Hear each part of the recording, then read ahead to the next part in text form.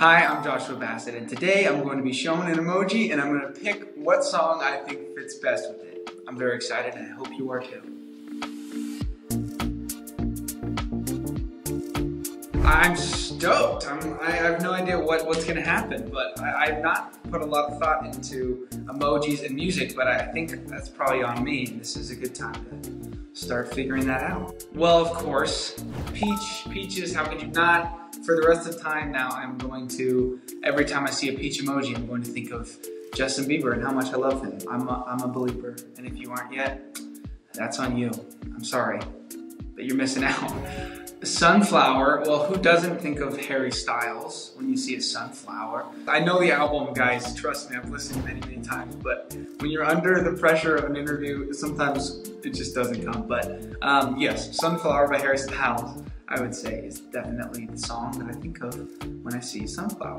Yes, everybody who's seen any interview of me at this point knows that I'm a Harry Styles fan because I don't think there's any interviews I get through where I don't mention how much I love Harry Styles. So yes, very much a Harry Styles fan. I have not met Harry yet, no. Uh, it's very sad, but I think when the time is right, I don't feel ready, you know? I'm almost like, when you're ready, it'll happen, but the time is not now, you know?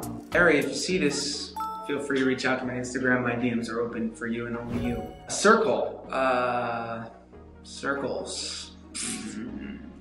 What comes to mind? This, the first two are easy. Now I'm trying to think of a song that has to do with circles. I think this, the perfect song for this is Stay by Rihanna. Boom. Next track. Well, okay, the first thing I think of is Senorita by Shawn Mendes and Camila Cabello. A heart. Aw. Uh, wow, I mean, does, there's like a million songs you think of uh, with a heart. For some reason, I'm thinking of When We Were Young by Adele. I don't know why that song makes me cry every time, but uh, When We Were Young by Adele is the one that comes to mind. I am also a super hardcore Adele fan. Yes, I uh, listen to Adele all the time. I really love that she's only put out three albums in so long and she really only talks when she thinks she needs to. Uh, she doesn't say too much and she doesn't say too little, it's just enough. And I don't know, I'm just a huge fan of everything she does. And I'm pretty sure she's doing a, a collab with Beyonce, which is wild, and I'm very much looking forward to that. I don't know if that's true or not. That might have been an Onion article, but I'm pretty sure it's true. I, I don't know from what I've heard, so very much looking forward to that. We got there, by the way, by a heart emoji. That's how we got there. Talking, man, uh. That's funny. I mean, okay, there's a lyric in my song that's coming out on the 7th uh, called Feel Something there's a lyric in it where we say, we're talking shit just to tell it. So that's what I think of when I see that guy, is talking shit just to tell it. So I would have to go with How Conveniently You Feel Something by Joshua Bassett. Unashamed Self-Plug. Oh, the waves. Oh, I think of uh, Wonder by Shawn Mendes when I see that. I don't know why. The music video has cemented in my head Shawn Mendes standing at rocks with a lot of water splashing on him. And for whatever reason, that emoji is eliciting that answer. So we're gonna go with uh, Wonder by Shawn Mendes. I also do love Shawn. Ever since Shawn became popular, people have sort of compared me to him and uh, I was always like, I wanna be unique, but at the same time, I'm like, you know, he's really dope and he's actually a really good person to be compared to. And I also love all of his music, so, you know, oh, is that a church? Church, duh. Who doesn't see a church emoji and think of that? Take Me to Church by Hozier. Ooh, a snake. Uh, wasn't there, oh man, this might be, uh, people are gonna come after me. Please have mercy if I get this wrong, but wasn't there something that Taylor Swift did with a snake, a music video? Look What You Made Me Do. Okay, I was right. Look What You Made Me Do by Taylor Swift. Yeah, that was pretty iconic when she just did that. She just like owned the narrative on everything people were saying about her and she just was like, you can't. Uh, she made like a super simple pop song that ended up being one of the biggest songs in the world and I think it was the ultimate FU to everybody who was uh, sort of talking smack. I love the kiss emoji.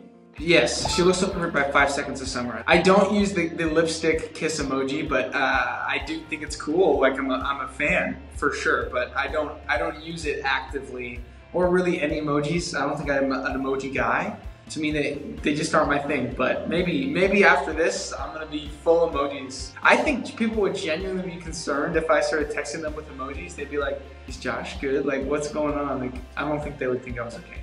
But you know i'm a fan.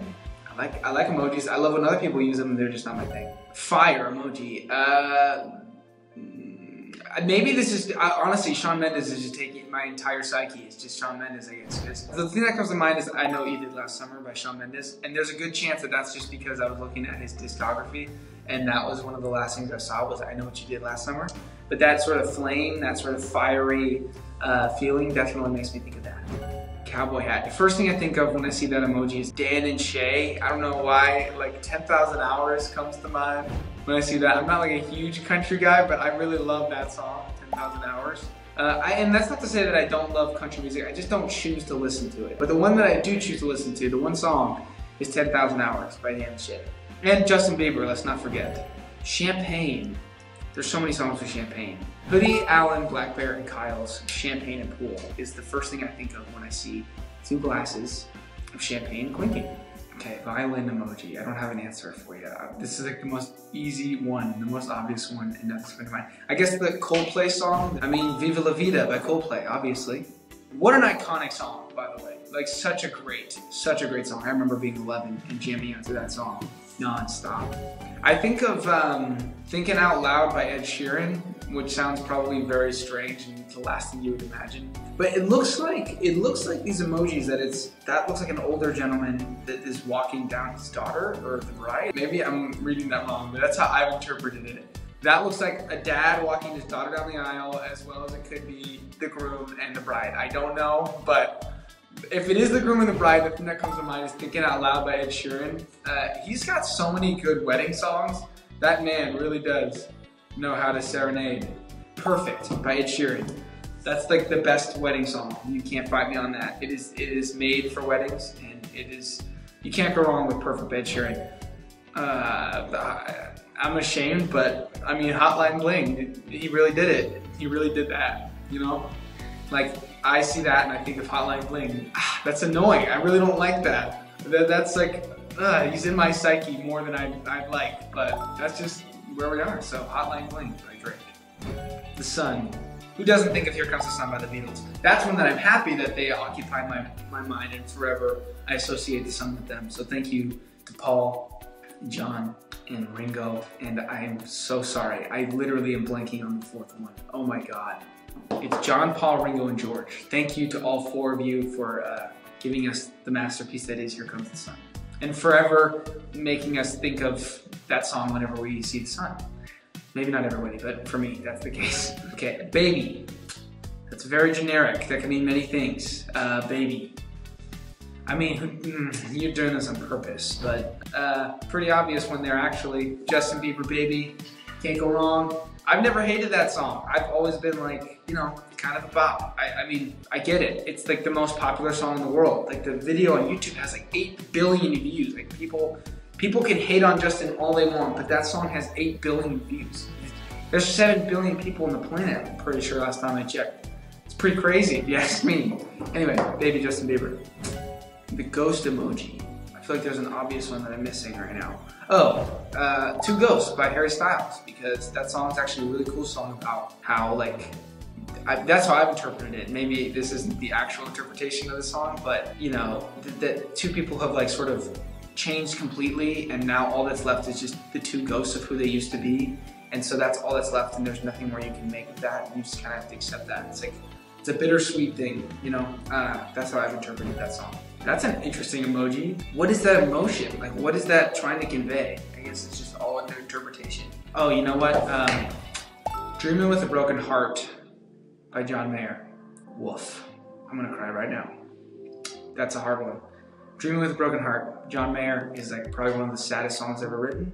It's very true. And you can it can apply to like any life circumstance. That was actually a lot easier than I thought it was gonna be. I was a little bit stressed, like, oh, I'm not gonna know, but weirdly, like, yeah, it's just so funny how, how those links are made in your psyche between different things. Like, for example, the, the hotline bling answer, I was like, I, I hate that forever. Like, he's just cemented that in my mind that I associate a cell phone with, with, uh, with Drake. But yeah, it's, it's always interesting how you have those like weird connections in your brain to, to different things. I, I don't, I can't say that I'm gonna use emojis more, but I definitely have a new appreciation for emojis and all that they can mean because they can mean so much more than on the surface. This has been MTV's Emoji Song Challenge. I'm Joshua Bassett.